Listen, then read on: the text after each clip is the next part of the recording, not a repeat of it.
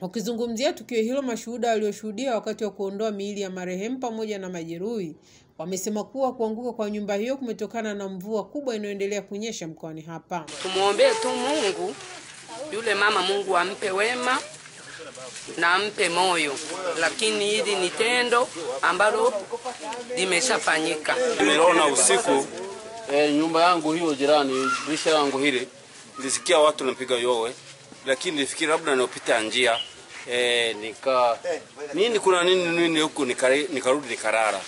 Naye mwenyekiti wa serikali ya mtaa wa Nyakato Mlimani na balozi wa nyumba kumi wamethibitisha kutokea kwa tukio hilo katika mtaa wao. Hili tukio limetokea usiku wa kuamkia leo majira kama saa tano kitu kama hicho eh, e, limetokea tukio hii. Nyumba ikawa imedondoka ikawa ime- ya matope.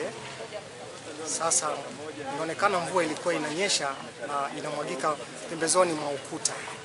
Sasa nao bila kuweza kufahamu au kuchukua tahadhari, basi ukuta umelowana na ikapelekea sasa kipindi hiko cha usiku, basi ukuta ukatelemka na ukaanguka. Kwa upande wake mkuu wa wilaya ya Msoma Dr. Vincent Naano ametoa pole kwa wafiwa na amewataka wananchi kuwa waangalifu kutokana na mvua zinazoendelea kunyesha. Mvua hii ni kubwa, jambo hili litaendelea kuwepo na nyumba kuanguka.